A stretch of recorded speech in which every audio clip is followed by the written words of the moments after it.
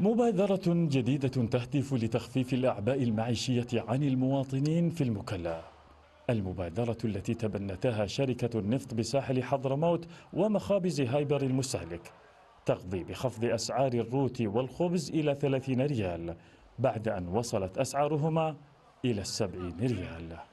تأتي هذه أيضا الفكرة من خلال الدور الذي تلعبه شركة النفط فرع ساحل حضرموت في محافظة التي نحاول بقدر الاستطاعة أن نتلمس حياة المواطنين في القطاعات التي تمس القطاع الكبير للمواطنين في هذه المديرية سيكون هذا المخبز هو آه، النقطة الأساسية أو النقطة البداية الأساسية والتي ندعو جميع المخابز أن تقتدي بهذه الخطوة. وجبة الغني والفقير.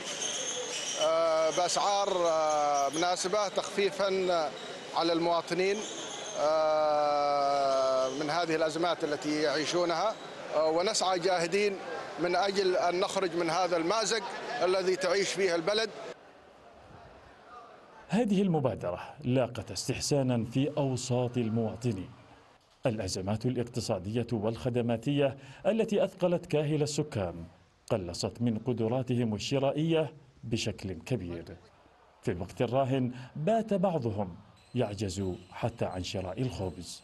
والله هذه بصراحة بادرة جيدة وطيبة أنه الهايبر يساعد الناس ويقدم الخدمات في الأسعار في الناس كانت وضعها صعب لأن الروتي ارتفع إلى سعر خيالي. والآن الحمد لله بهذه البادرة الطيبة الحبة ب 30 ريال يعني تخفيف على الناس وعلى كاهلهم. بس أهم حاجة بالنسبة لنا الاستمرارية لأن الناس معاناتهم تعابة لقمة العيش أهلكتهم رواتبهم قليلة معيشة صعبة جم. وربنا إن شاء الله يخفف المعاناة على الكل. السلطات في المكلا تسعى لتعميم هذه التجربة على عدد من المخابز والأفران في المدينة.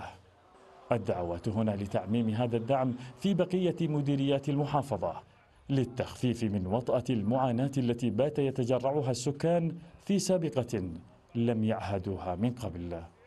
عيد رس الخليفي لقناة الغد المشرق.